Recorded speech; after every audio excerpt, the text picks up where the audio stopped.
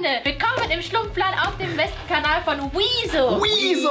Hier, diesen Kanal, das ist der richtige. Dem könnt ihr folgen. Das ist der sozusagen der offizielle. Hier, Schlumpf ist auch cool drauf. Mit denen bin ich cool sozusagen. Ich finde, äh, man muss Fremdgehen gar nicht definieren, wenn man sich verletzt fühlt durch was, was der Partner gemacht hat und, und äh, dann fühlt man sich dadurch verletzt. Da muss man auch gar nicht sagen, so, äh, das so einkategorisieren, war das jetzt Fremdgehen oder nicht. Wenn man selber für sich merkt, das, tat, das tut mir weh, dann kann man es entweder ansprechen und wenn es einem so sehr weh tat, dass man sagt, ich kann da keine Beziehung mehr führen, dann ist es eigentlich irrelevant, ob es äh, Fremdgehen oder nicht, dann ist es halt ein Dealbreaker so.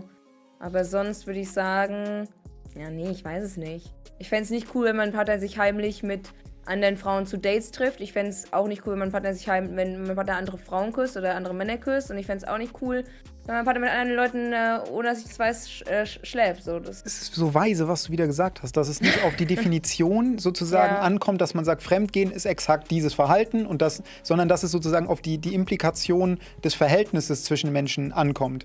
Also Mhm. wenn, wenn mir eine Person nicht erzählen würde, dass sie mit anderen Leuten auch ins Kino geht, dann würde ich mich fragen, Mhm. ja. warum verheimlichst du vor mir, dass du mit Genau. anderen Leuten ins Kino gehst? So, also Ja. es, es kommt da ja weniger auf die Sache an, sondern mehr auf dieses klare Ver Verhältnis von Du weißt, dass ich nicht möchte, dass du das tust und du machst es deswegen hinter meinem Rücken und verheimlichst mir Ja. was. Das ist halt nicht okay. Ja, deswegen, ich würde es auch immer so definieren, wie das halt in der Beziehung, in der jeweiligen Beziehung abgesprochen ist. Also Fremdgehen in der einen Beziehung ist für mich was anderes als Fremdgehen in der anderen Beziehung. Wenn in der einen Beziehung klar ist, hey, ich möchte nicht, dass du mit anderen Leuten äh, äh, schläfst, aber wenn du auf einer Party mit anderen ein bisschen rumknutschst, ist das für mich fein, dann ist halt das Rumknutschen noch kein Fremdgehen, weil das ist halt okay. So, und also es kommt halt immer darauf an, wie ist das Regelset, was ihr miteinander ausgemacht habt. Letztlich ist Fremdgehen, finde ich, austauschbar mit dem Wort hintergehen. Unehrlich sein gegen. Ich auch. Ja. Ich hatte Weil- auch, ich hatte auch mal was mit einer, die ne, wo ich wusste, dass sie eine Partnerschaft hat. Da denke ich auch rückblickend, hätte ich eigentlich nicht machen sollen. So bin ich eigentlich auch ein Arsch, das getan zu haben. So. Ich habe mir damals halt so ein bisschen eingeredet, ja, es ist ja ihre Verantwortung, wenn sie entscheidet. Aber letztlich Mhm. ist, es, ist es einfach uncool. Also wenn es in meinem Freundeskreis wäre äh, und ich mit beiden Leuten befreundet wäre, dann würde ich sagen, entweder sagst du's oder in den nächsten fünf bis sieben Tagen ich sag's, weil das wäre für mich ganz schrecklich. Aber ich frage mal, bis zu welchem Grad macht man sowas? Denn zum Beispiel habe ich vor ein paar Tagen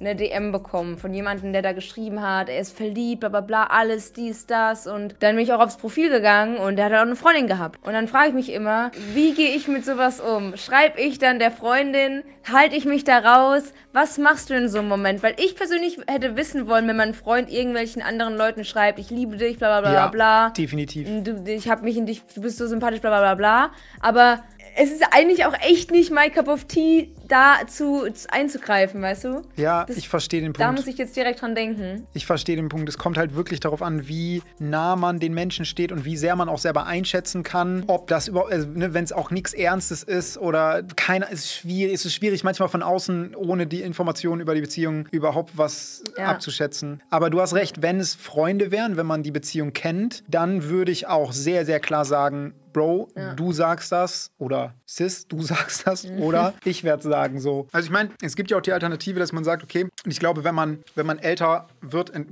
entwickelt man noch so eine leichte, also eine relativ starke Entspanntheit. Und wenn du jemanden wirklich über, sagen wir mal, 10, 20 Jahre liebst und also das ist ja eine, eine Spanne, die man Ja. sich sozusagen in unserem Alltag kaum vorstellen kann, so Ja, safe. irgendwie 20 Safe. Jahre lang mit jemandem Paar zu sein. Aber ich glaube halt, wenn du 20 Jahre lang mit jemandem Paar bist und es da irgendetwas gibt, was die Person total nice findet, mal auszuprobieren und Mhm. du das nicht feierst, dann würdest du wahrscheinlich auch, glaube ich, an den Punkt kommen, dass du sagst, ja, dann leb das halt mal punktuell mit wem anders aus und dann kommst du halt wieder. Meinst du? Ich glaube glaub nicht, dass da alle Leute so. Ich glaube nicht, dass da alle Leute so. Ohne Scheiß, ich, ich finde das. Konzept sehr interessant, aber ich. Ich glaube, dass die meisten ja. Leute, dass die meisten, meisten, meisten Paare, spätestens wenn sie zehn Jahre zusammen sind oder so, äh, fremdgehen. Ich glaube, also die aller, aller, aller, aller am meisten. Das ist mein Bauchgefühl. Da redet Mhm. man nicht drüber. Es gibt, nur eine, es gibt ja nicht eine Statistik, weil das sagt man ja nicht. Okay. So, aber ich bin mir so in meinem Bauchgefühl sicher, dass, dass fast alle Menschen in einer dauerhaften Beziehung fremdgehen. So mein Bauchgefühl.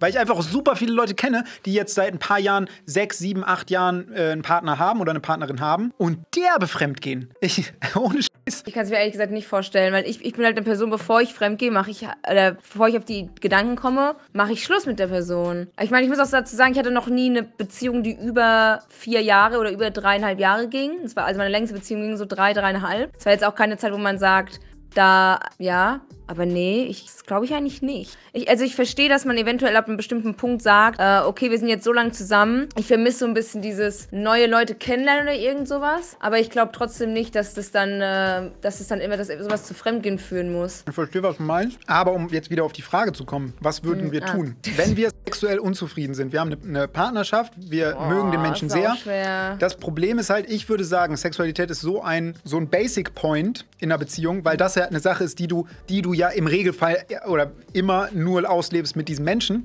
dass es dann eine Sache ist, die die schon sehr basismäßig ist. Also das ist so wie, wenn da stehen würde, ihr könnt nicht miteinander reden. Du liebst den Menschen sehr, aber ich kann mich halt nicht mit dem unterhalten. Ja, aber das ist doch eine Basissache so. Also was man halt tryen kann, ist vielleicht eine Sexualtherapie zu machen. Ich habe noch nie eine Sexualtherapie gemacht, aber ich stelle mir vor, dass das wie eine Therapie halt eine Sache ist, die halt mega helfen kann, so für, für beide. Ja, ich wollte auch, also muss man halt prinzipiell sagen, warum ist man denn sexuell unzufrieden? Weil man die andere Person nicht äh, sexuell attraktiv findet, weil es einfach sexuell nicht passt, weil man auf unterschiedliche Dinge steht. Also wo liegt das Problem? Weil ich finde, oftmals ist so das Ding, dass man zum Beispiel, man hat einen ein Kumpel oder eine Freundin oder so, man kommt mega gut miteinander klar, man mag sich richtig, richtig, richtig gerne. Aber meine Weisheit dazu ist, nicht immer, wenn man einen Mensch äußerlich attraktiv findet und den Mensch sympathisch findet, ist es für eine Beziehung ausgelegt. Manchmal Ja. können Leute auch einfach nur Freunde bleiben. Ja. Und wenn man halt sagt, okay, sexuell passt es zwischen uns einfach nicht, dann ist es vielleicht auch einfach nichts, was für eine Beziehung ausgelegt ist. Sondern wenn man sagt, okay, wir verstehen uns ultra gut und wir können uns eine gemeinsame Zukunft vorstellen, warum nicht einfach eine gemeinsame, lange, nice Freundschaft? Nee, ich hatte, ich hatte auch keine Freundschaft bloß. Und ich weiß nicht, was es für mich wäre. Ich spricht, glaube ich, nichts dagegen.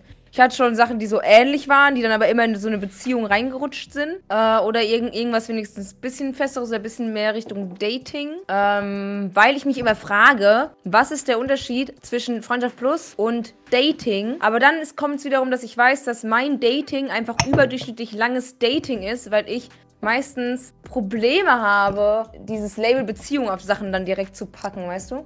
Ah, ich verstehe. Mega schwer mit. Ich verstehe. Wenn Leute dann sagen, ja, was sind wir eigentlich? Ja, wir daten. Ja, so seit sechs Monaten. Ja. Und das ist schwierig, aber ja. Ich bin gar nicht der Typ fürs Daten. Habe ich ja gesagt in der einen äh, Geschichte, wo Ja. Mhm. du so Fragen und dann musstest du zu, zuordnen. Ich würde entweder sagen, ja, wir treffen uns halt für Sex oder Mhm. du bist die Frau meiner Träume und ich will bis zum Ende meines Lebens mit dir zusammen. Das sind die beiden okay, Pole, die okay. ich kenne. Das sind die beiden States, die ich kenne. Und dazwischen, ich Mhm. kenne dieses, also für mich kommt dieses, ja, wir daten. So, ja, was ist das Ja. denn jetzt? So, Ja, das, entweder, ja, das ist eine gute Frage. Schwierig, schwierig. Entweder Für mich ist tatsächlich Daten, ja, mh, für mich ist Daten auch immer was Exklusives. Also ich date auch nicht mehr, wenn ich jemand date, dann date ich auch nicht mehrere Leute. Es ist für mich schon eine exklusive Sache. Es ist halt nur nicht dieses Label Beziehung drauf, weil, ja, ich das manchmal schwierig finde. Ich weiß nicht, vielleicht sind's, vielleicht lag es auch daran, dass es die, die Personen waren, wo ich halt wusste, dass es für mich so Beziehung, Beziehung ist, weißt du? Mhm. Aber ich trotzdem das cool fand und trotzdem gern die Leute gedatet habe. Aber bist du, also das heißt, du hast schon, aber liegt das an einer grundsätzlichen Bindungsangst oder woran liegt das, dass du, dass du so Schwierigkeiten hast zu sagen, hört sich, glaube ich, oberflächlich so an, aber ich glaube nicht, dass ich Bindungsängste habe, weil wenn ich jetzt eine Person treffe, mit, von der ich wirklich 100%, meist, meistens war bei, bei meinem Dating was, das mich was gestört hat, was mich daran gehindert hat, mit der Person zusammen zu sein. wie was Ähm, gestört, also irgendeine Eigenschaft Zum Beispiel, oder? ja, irgendeine Eigenschaft oder irgendwas, irgendwas Charakterliches, wo ich gesagt habe, so, nee, das, da, kann ich nicht zusammen sein, aber... Ach so, sozusagen so sau- neun- 90 Prozent bist du da, aber noch nicht Genau. 100 Prozent. Genau, weil wenn ich so mit der Person zusammen bin, dann bin ich auch so, ja, später heiraten wir auch, weißt du, später alles so, wir sind so richtig so. Und das habe ich super selten bei Menschen. Also so richtig, richtig, richtig selten Mhm. bei Menschen. Und dementsprechend, ich glaube, das ist vielleicht dann vergleichbar mit Freundschaft Plus, aber es ist halt trotzdem noch, es ist exklusiv und es, mh, ich kaufe Blumen und ich bin dann schon, weißt Sweet. du, Sweet. into it. Ja, Du kaufst Blumen, ich das bin ist sweet. Romantiker. Das ist manchmal. sehr, sehr sweet. ja. Ja. ich verstehe. Schwierig.